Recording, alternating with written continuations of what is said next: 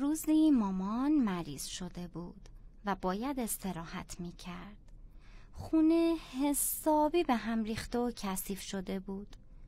مادر بزرگ چند روز به کمک اونها اومد. وقتی خونه رو دید تعجب کرد و گفت ای بابا اینجا چه خبر شده؟ کیمیا گفت آخه مامانم مریضه نمی‌تونه کاری کنه مادر بزرگ گفت خیلی خوب. پس حالا ما باید همه جا رو مرتب کنیم. کامران گفت وای این کار زیادیه. خیلی خسته میشیم.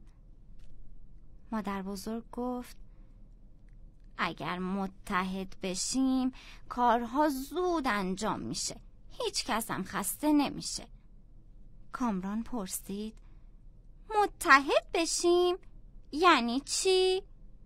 کیمیا گفت یعنی همه به هم کمک کنیم داداشی. مادر بزرگ گفت بله درسته.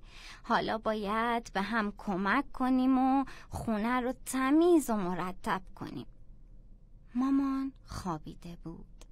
بچه ها همه چیز رو سر جای خودش گذاشتن.